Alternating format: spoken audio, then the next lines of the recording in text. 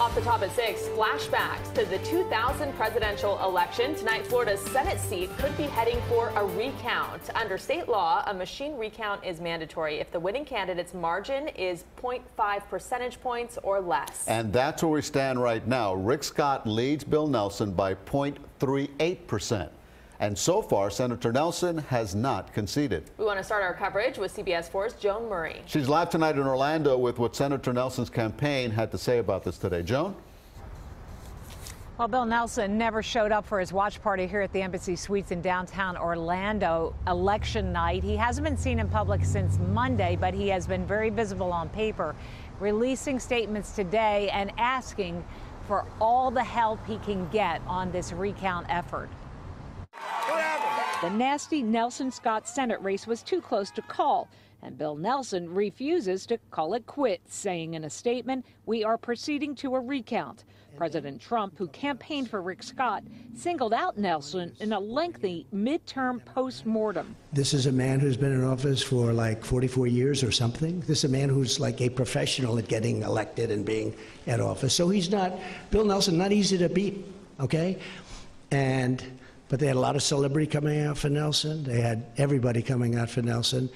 And Rick Scott won. The Donald Trump factor is an important one. That helps explain why Bill Nelson may have fallen short Tuesday.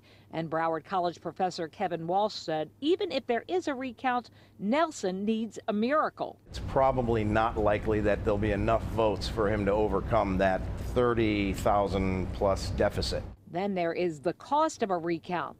Nelson said Scott outspent him by more than two to one during the campaign. Nelson has taken to social media, setting up an emergency response recount fund, saying in a tweet, We know Rick Scott and the GOP are about to pile everything they've got into this, and I need you right here with me to make sure every last vote is counted. It is going to be a lengthy and very expensive effort. Now, here's how that potential recount would work. By Saturday, all the counties have to submit an initial count, and from that, uh, it'll be determined whether the margin is slim enough to do this machine recount. And then further than that, depending on what the results are, it could ultimately lead to a hand recount. That will take a, a long, long time. Anybody's guess where this is going. In Orlando tonight, Joan Murray, CBS 4 News. Thank you, Joan. From Joan in Orlando, let's head to CBS 4's David Sutta in Naples. And David, have we heard yet from Governor Rick Scott? He is missing in action too. He actually appeared uh, last night, obviously, to accept uh, what he thought was uh, basically him going to the Senate. Uh, he did that with uh, not a confirmation that he had won. At least only a few media outlets at that point were confirming, and he only had a 60,000 uh, vote lead in all this. By early this morning, that was actually cut in half, and he was in that area where the recount was going to be automatic. And now, as we move forward here, he is already his campaign has put out a statement basically basically saying that this is over, he's won, but it's looking like this recount will happen. The, the real question here is whether it will have any impact on the outcome, and so far it's looking like it won't. We will change, like we did in Florida, the direction of Washington, D.C. Governor Rick Scott declared victory just before midnight, taking the stage without Senator Bill Nelson conceding the race or the state being called for Scott. I didn't go to Tallahassee eight years ago to be everybody's friend. I'm not going to D.C. to win a popularity contest. I'm going to D.C. to get something done. At this moment, Scott's campaign was up about 60,000 votes, not outside the norm for one of his elections. He's had a history of winning by just 1% of the vote. As his supporters reveled in the win, it wasn't quite clear that the race was over. Election offices across the state continued to update vote totals throughout the night. Around 3 a.m., Scott was ahead of Nelson by just 50,000 votes. By morning, it had dropped to 30,000. Under Florida law, if the race totals are within a half of 1%, a statewide recount must be ordered. Nelson technically could waive his right to a recount, but this morning he made it clear he was not going to do that. Scott's campaign put out a statement saying, quote, the race is over. It's a sad way for Bill Nelson to end his career. He is desperately trying to hold on to something that no longer exists. Let's get to work.